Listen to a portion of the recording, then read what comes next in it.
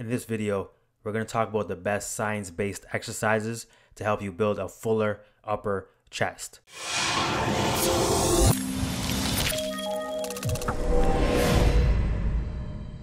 So, which type of chest do you prefer? The square armor plate look, where the top is just as full as the bottom? Or a bottom heavy chest, where the lower is more developed than the upper? Let me know in the comment section below. Before we get into the research of the upper chest exercises, let's quickly talk about the anatomy of the chest.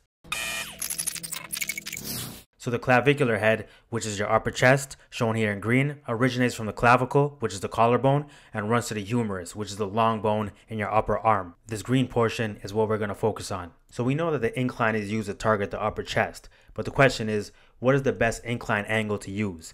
So this study looked at muscle activation in the clavicular head, which is the upper portion that we're talking about, the sternocostal head, which is the lower major part of your chest, and they also looked at the anterior or front deltoid. And the angles that they compared was 0 degrees, which is a flat bench press, 28 degrees, 44 degrees, and 56 degrees. So the greatest muscle activation caused in the upper chest was found at the 44, or we'll call it the 45 degree angle, but there are limitations to this study. The main limitation was that it was done using the Smith machine, which is a very controlled movement and doesn't mimic the same natural movement pattern as say a barbell or a dumbbell. But this is still valuable information and you'll see why in a second. A second study that used the free weight barbell bench press found similar muscle activation in the upper chest with a 30 degree angle and a 45 degree angle. And this additional muscle activation mainly occurred in the concentric part of the lift. So let's wrap this up. Study 1, Smith machine, 45 degree angle was better than a 30 degree angle.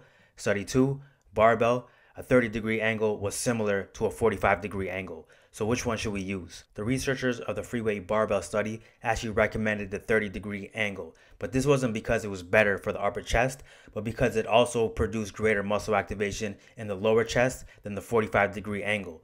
So if you're primarily just doing incline pressing, then a 30 degree angle is better. If, on the other hand, you're already incorporating some flat bench pressing, which is going to provide a great training stimulus for your lower chest, then I would recommend using the 45 degree angle because the Smith machine study did find greater muscle activation at 45 degrees. So the next exercise we're going to look at is the incline cable chest fly. And the reason we're doing this is because one of the main functions of the chest is horizontal adduction, which is like bringing your arms across the front of your chest, similar to what you see in this movement. And I would recommend using the cables instead of the dumbbells on this movement because the cables will provide horizontal tension throughout the entire rep, where with dumbbells, when you're at the very top, there's very little to no tension on your chest. So the last exercise that we're going to look at is the incline push-up. And this is great because you can use it as a finisher at the end of your workout. And you can do this anytime, any place. Um, you can even do this on your off days if you really want to bring up your upper chest.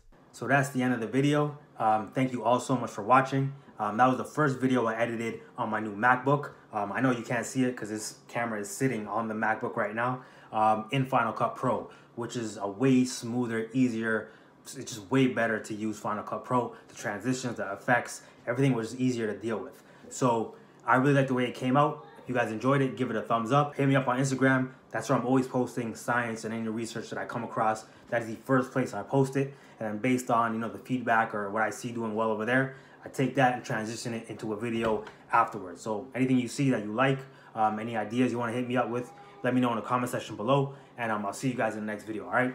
Peace.